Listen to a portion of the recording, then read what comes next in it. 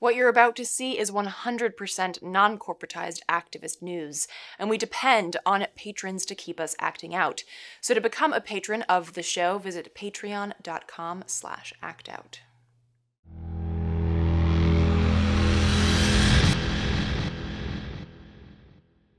This week on Act Out, cryptocurrency, a hot issue shrouded in mystery for many.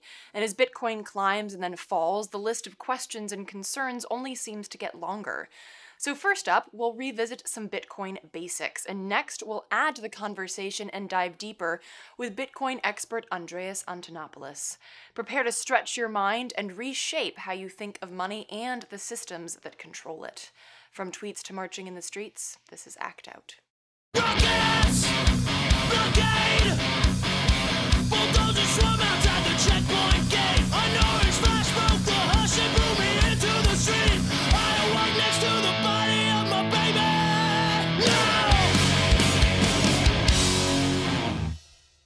Welcome to Act Out. I'm Eleanor Goldfield, and this is your tipping point. Bitcoin, the shadowy electronic currency that soars and dives, is accepted at seemingly random underground punk stores and cozy diners alike.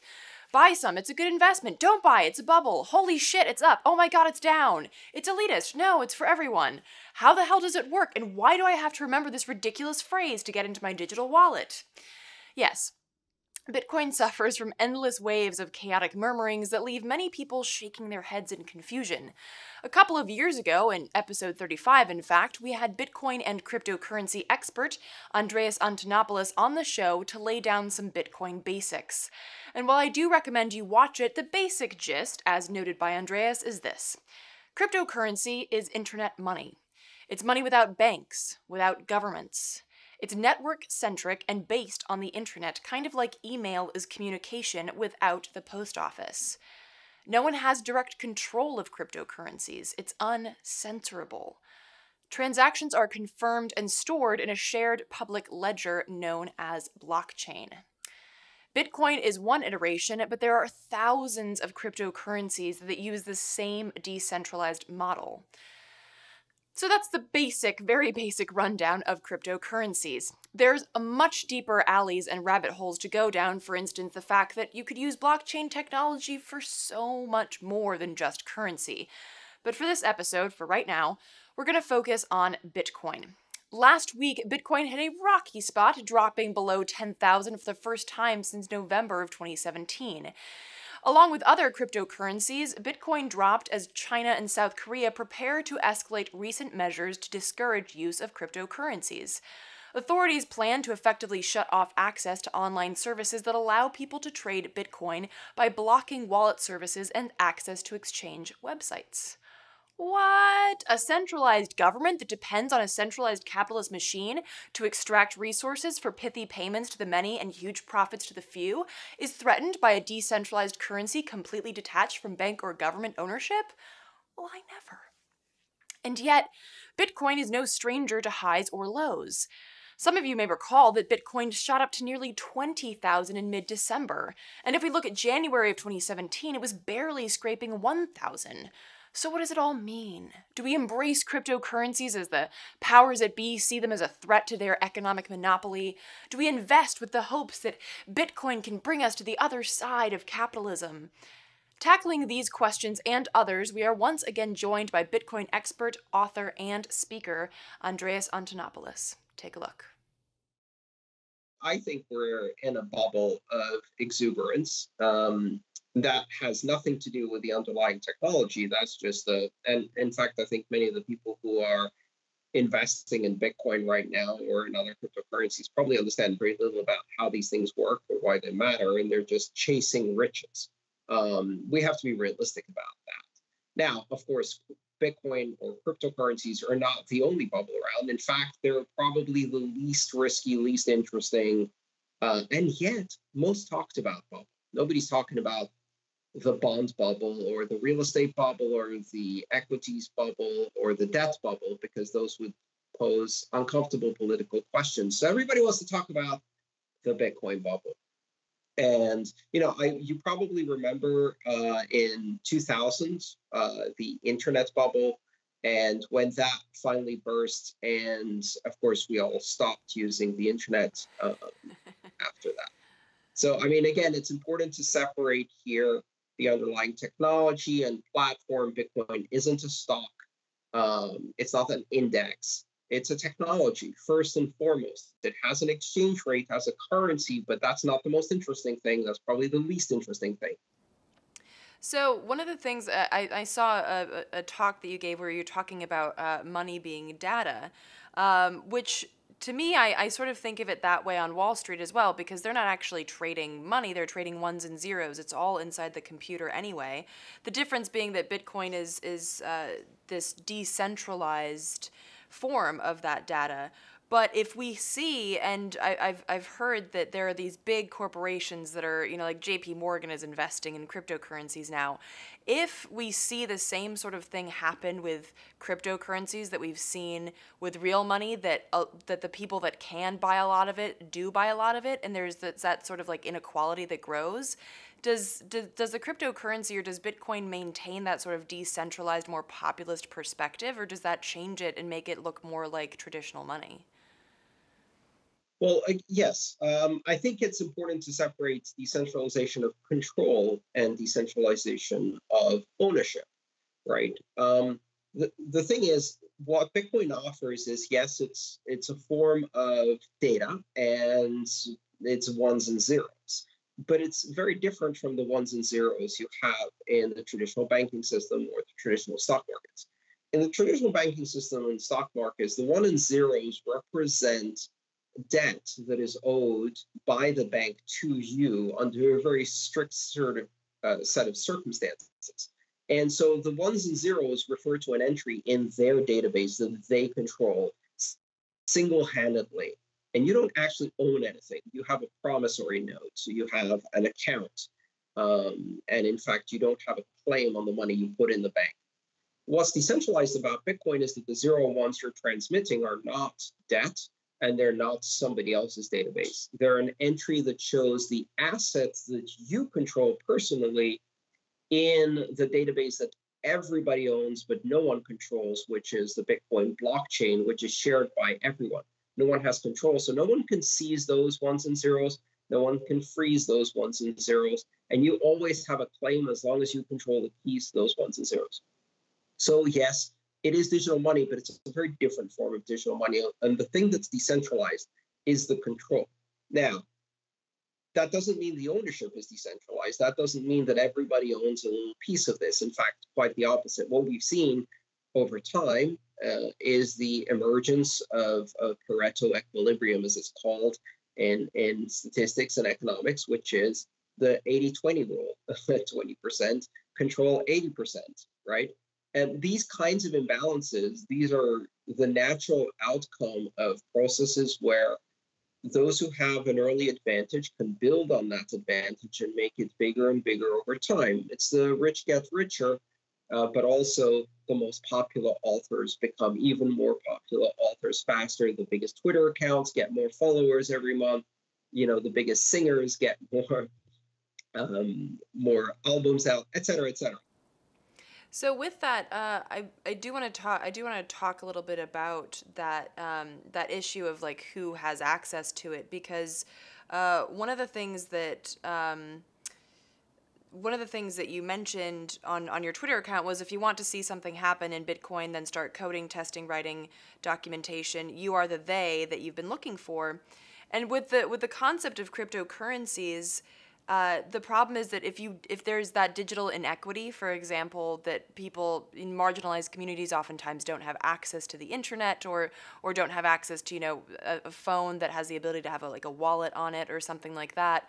So this sort of uh, digital inequity is yet another door that closes in front of people that would like to access this new form of currency.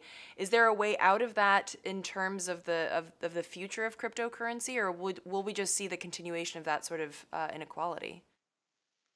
Well, it, you know, crypto doesn't magically solve humanity's problems. Um, the, the question is whether some of those inequalities are also rooted in the ability or centralization of control over money. and control over banking services. Because the truth is that the same, many of the same uh, minorities that have no access to smartphones and computers also have no access to bank accounts because they can't open one. They don't have access to identity documents in order to open a bank account or vote or many of the other things that propagate inequality. In the case of banks, uh, though, the fact that that money is not theirs to control, even if they do have a bank account, only tends to heighten these inequalities. And so, one, in order to solve inequality and access to finance, the, the, the way to do that in the traditional system is to somehow lobby politicians to pass laws to change the way banks function and banks are regulated in order to open opportunity for more people. That hasn't worked. The Bitcoin approach is to is to um, basically look at the evolution of technology and notice that things like smartphones, for example, have been dropping in price for the same model or capability by about half every two years. Moore's law, um, the technological evolution and the economies of scale, which means that the type of cell phone that only a rich person had in the 1980s and, and 1990s, you can find in the most remote rural areas in the world.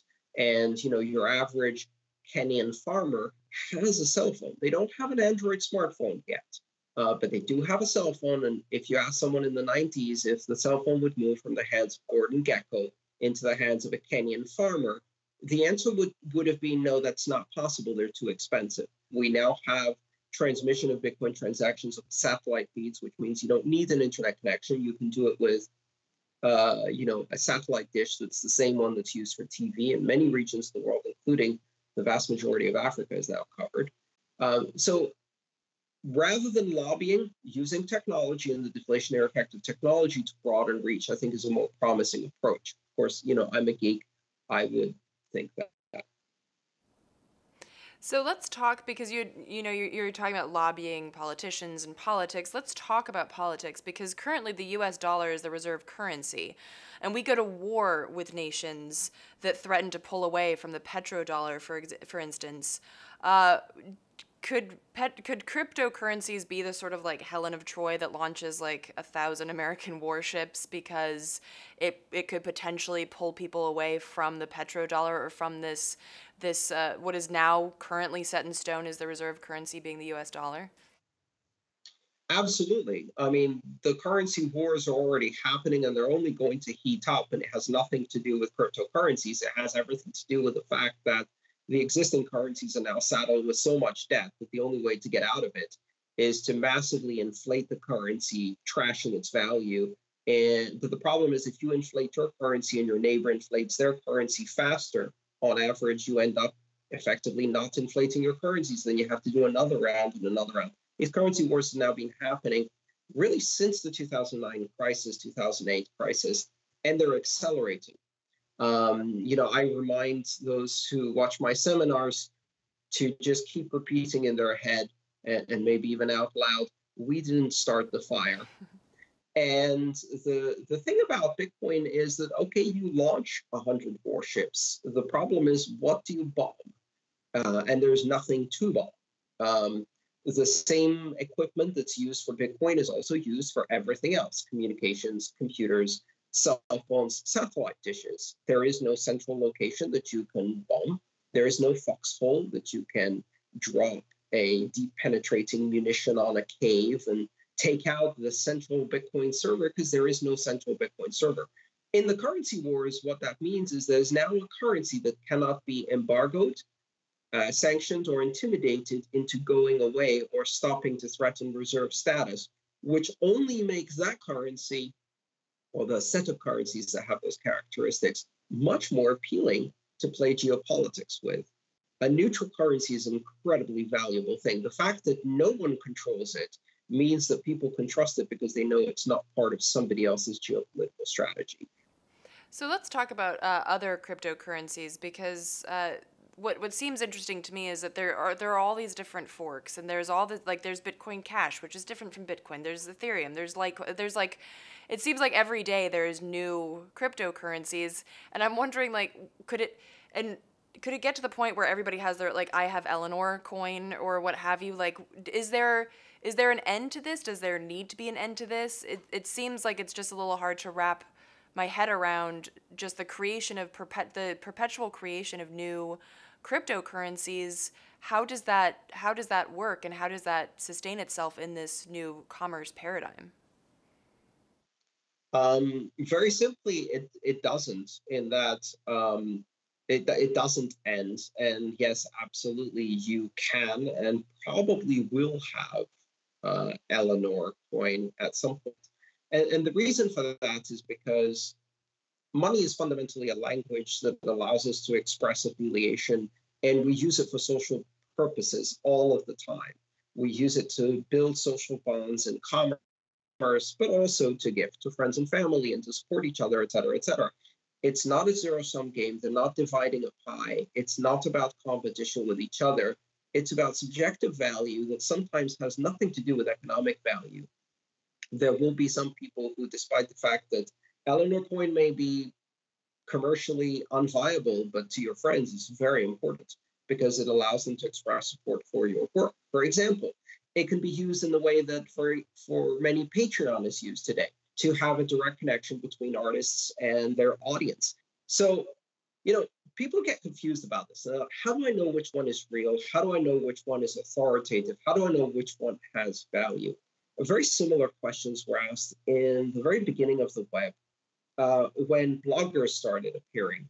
And then the question said, well, I mean, until now, I would read the New York Times or the Washington Post, and I know they have authoritative truth.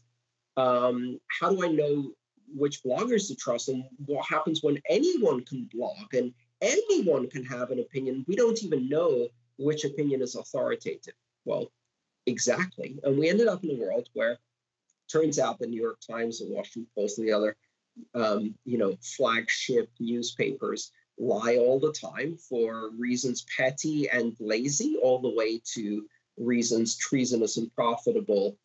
And so you no longer have an easy shortcut to say this is true because X said it. You have to actually evaluate your truth. You have to be careful with your sources, and you have to be careful with which sources you follow and which sources you believe.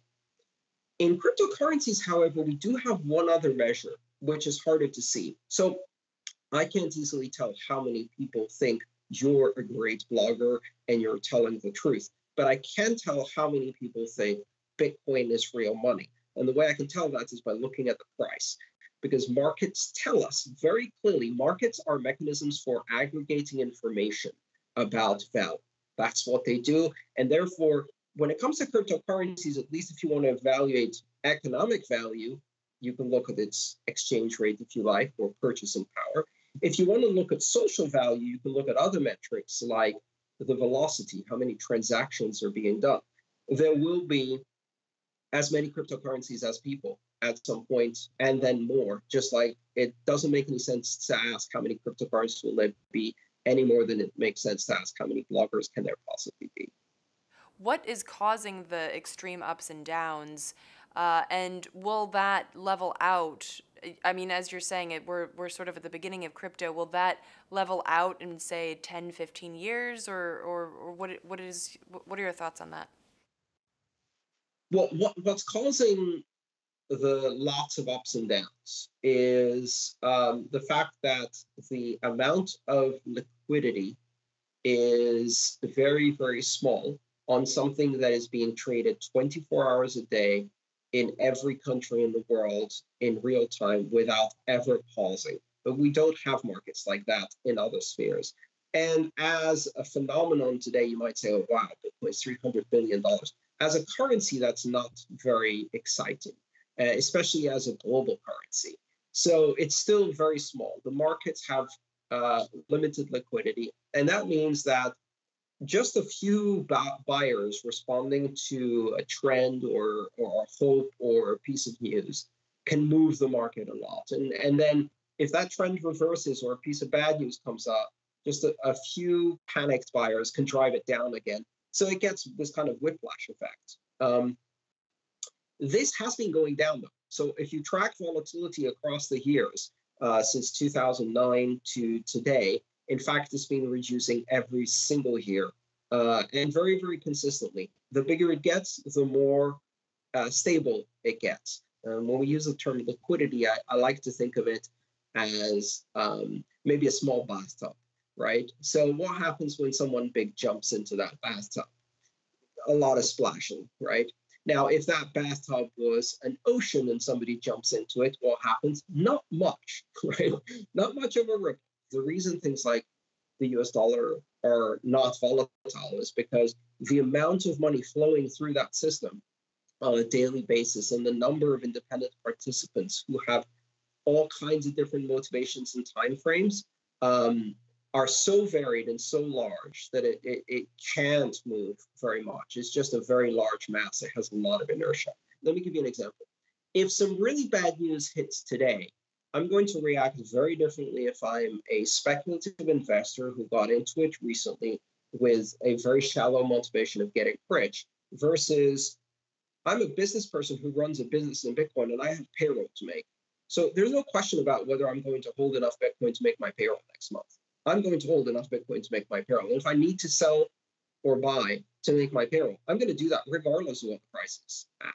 So my time preference and sensitivity to price changes is very different from that of somebody who like found out about Bitcoin last week. It's like, oh, we're going to be rich, 19,000, 16,000. Oh shit.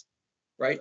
Um, if you have more variety of people interacting with the system for different motivations, it also uh, reduce the volatility. So no, it's not going to be like this forever. In fact, it's already getting smoother. So what would you what would you suggest people do at this point? Even though things are a little bit clunky, should people start investing in certain coins? What sort of wallets should they have? What sort of coins should they invest in?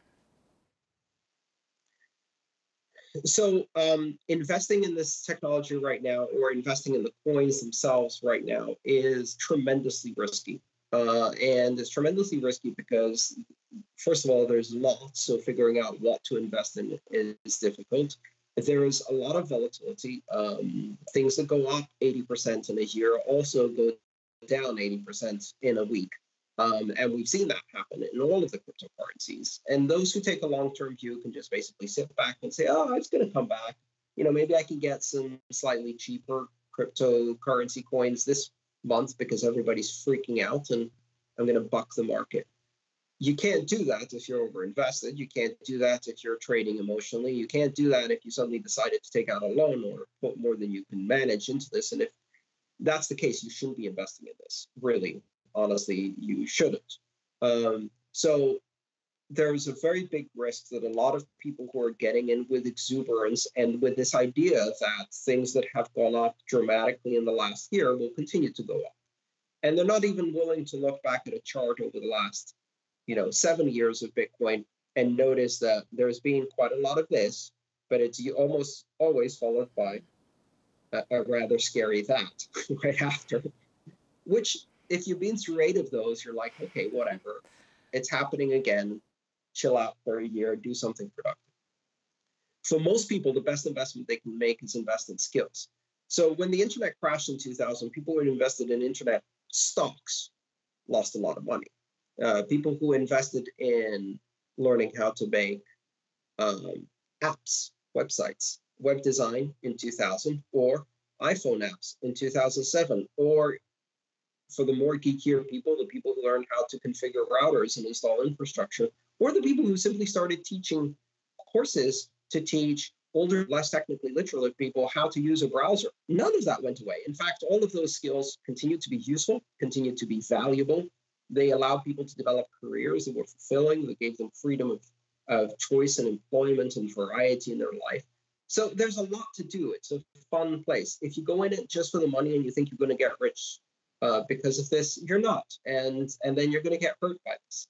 So greedy people will will, lose um, from this, but people who find it enriching in their lives and are curious and like technology or want to get involved in an exciting new startup space or come to it with a principled opposition to certain centralized, uh, nationalized um, systems of control and want to create a future that's less centralized, less nationalized, uh, and less controlling that's always a good motivation too.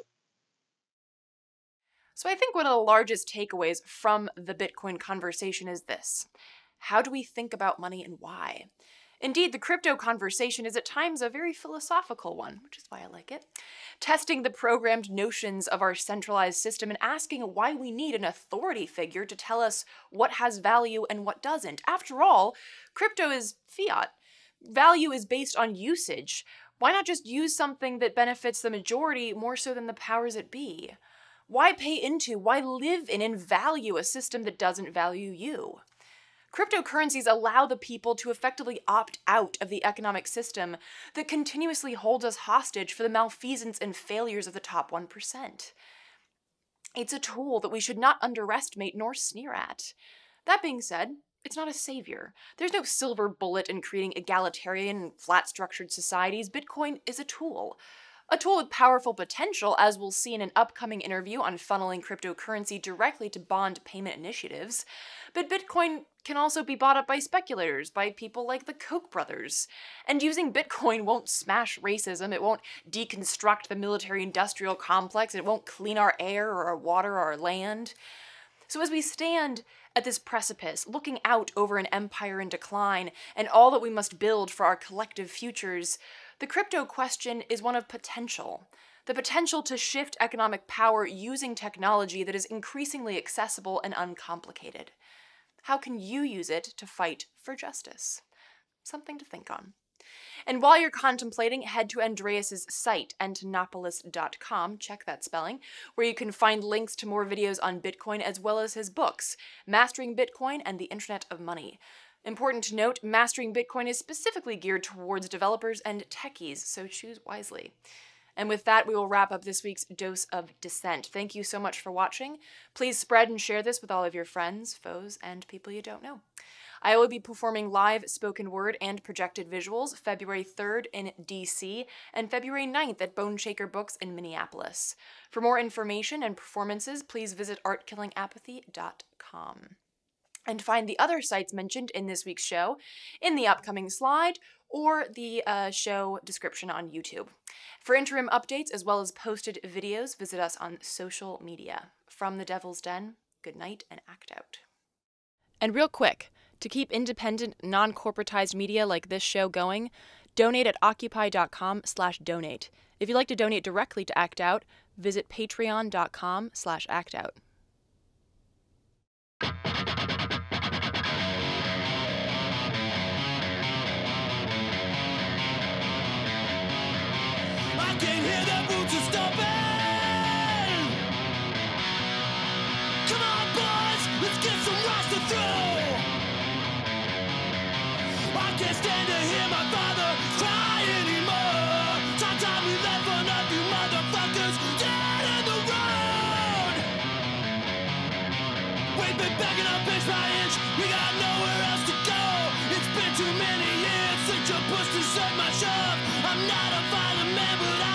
for what I